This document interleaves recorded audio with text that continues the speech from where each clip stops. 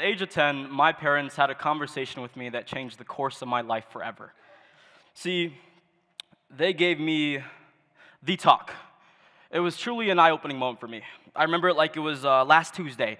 It was a chilly October. I had WWE Tuesday Night SmackDown blaring on our TV and two piping hot corn dogs in front of me. And I'm talking about like the good kind. See, I was enjoying my night.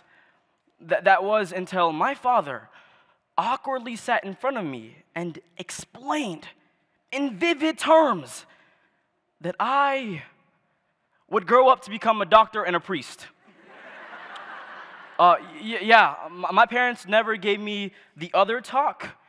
I- instead, they gave me the talk to let me know that they'd figured out my life for me. See, my dad had it all planned out. By 24, I would get into Harvard.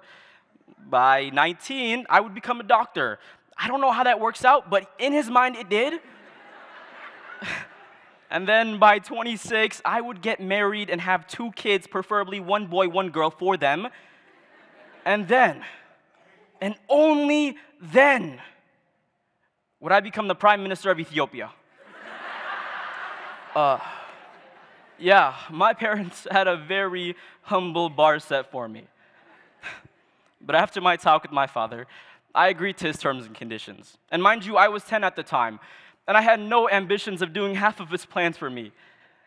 But you should have seen him. He had this huge grin on his face. And to illustrate it to you, I found this random black man on the internet smiling. and no, that is not my father. but that smile that Obama has, See, I love that for my dad. My parents gave up everything for my siblings and me. And because of this, I've always felt this need to accomplish their dreams through myself. See, my dad was originally born in Ethiopia, where he dropped out of high school to fight in a war no child should have to fight in. He fled to a refugee camp in Ali Addeh, Djibouti, where he had my sister and then me after meeting my mother. My parents had these dreams, these goals, these things that made them happy. See, my dad, my dad would tell me about how he wanted to become a soccer player for his country, about how he could have been the greatest goalie alive. my mom, on the other hand, she had dreams of being a merchant, owning her own small business, making a living. But my parents' happiness, their goals, their dreams were stripped away from them. And because of that, I've always felt this need to make them happy through myself. So I took on their goals. I took on their dreams. I took on their ambitions. And although it was tough, it was something that I had to do. But looking back, I realized that agreeing to my father's terms was more about feeling valued than actually wanting to pursue his plans for me. See, I wanted to hear my father say, I am so proud of you. You make me so happy, Beneyam. And although my father's intentions were noble, his desires for myself created this deep rooted desire to please people, to gain their approval for my own happiness. And although I may be boring you with my life story, I'm not here to just rant about my childhood struggles simply. I'm here to share my experiences with you so you can reanalyze your current situation your current goals and your current happiness. And now I can't promise you by that simply hearing me speak and then walking out those doors that your whole life will somehow change. But I can promise you that if you take my experiences, apply them to your own experiences, and reanalyze what actually makes you happy, and if you're doing them for yourself, that, that will make you happy. So, enough talk about you. Let's talk more about me. Uh, my name is Beneyam Hassen. People call me Ben because they can't pronounce my full name, and I've just rolled with it. But I secretly hate it. Uh, my favorite color is purple. Yes, I love it. And I believe with all my heart that pineapple on pizza is superior with a capital S. Yes, thank you. and I love listening to R&B specifically Giveon. and I like to work out, even if it doesn't seem like I do. But I do. Thank you. Almost. And I like to debate. And I like to believe that I'm pretty good at it too. And I really, and when I mean like really, you gotta know that I mean really. Like I really like cats. Yes. His, his name is Simba. I've only had him for a couple months, but he makes me happy. And I like to believe that I'm a trendsetter because I used to have these shoes that were like Crocs before Crocs were ever a thing. Yeah. you know, in my professional opinion, I had the best style back in elementary school with those shoes. I ran my school. But for some reason, some of the other kids tended to disagree. I still can't figure out why, but they did. And I specifically remember this one incident in fourth grade where some kid had the audacity to ask me, and this is in the prime age of memes and uh, like vines, what are those? While pointing at my shoes as if I wasn't rocking what I was wearing. But that moment right there, regardless of the kid meant it as a joke or not, illustrated to me that other kids probably perceived me as weird and different. And not in the good way, in like the, oh, you're weird type of way. That hurts.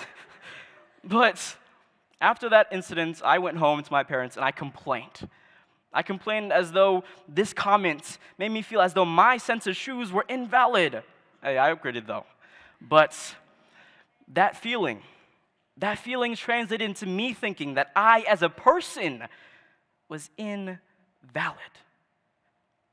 And although my parents didn't have the luxury of buying me new shoes, they went out to a thrift store and they bought some Nikes and cleaned them well enough to make me believe that they were new.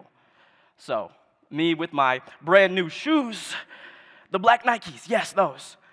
I ran my school. I was king of the hill. I was back on top. I fit in. I was so happy. But even then,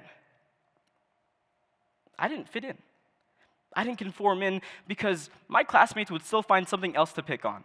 Whether it was my clothes, my hair, the size of my forehead, or as they like to call my five head. But they even, on occasions, points out my iffy resemblance to Megamind. That hurt the most. It did. And look, I will admit, my forehead is big, but it's not that big. but no matter how much I conform to be like them, I would never truly be them because I would never be happy doing what they do, wearing what they wear. But I forced myself to expect happiness if I became like them. And so many of us in this world try to fit in, try to fit into this idea that others have of us so that we can feel happy. But in the real, in the real world, that will never happen. Because you will never find happiness from the validity of others. By feeling valued by others, you will never feel happy because of that. Happiness comes from inner self, from your own things. And just like I would never be happy being a doctor like my father wanted me to be, and if I continue down the path of pleasing him to somehow take, get, get some type of happiness in the end, I surely would not be here standing and speaking to you. See, I would not be the Beneyam Hassen that I envisioned for myself. And because of the struggle of conforming for my father's expectations for myself and the expectations for myself, was I able to allow myself to communicate with my dad and let him know that I didn't want to become a doctor or a priest. See, I wanted to be a lawyer. I wanted to help the people stuck in our refugee camp. I wanted to make a difference. I wanted to help my parents.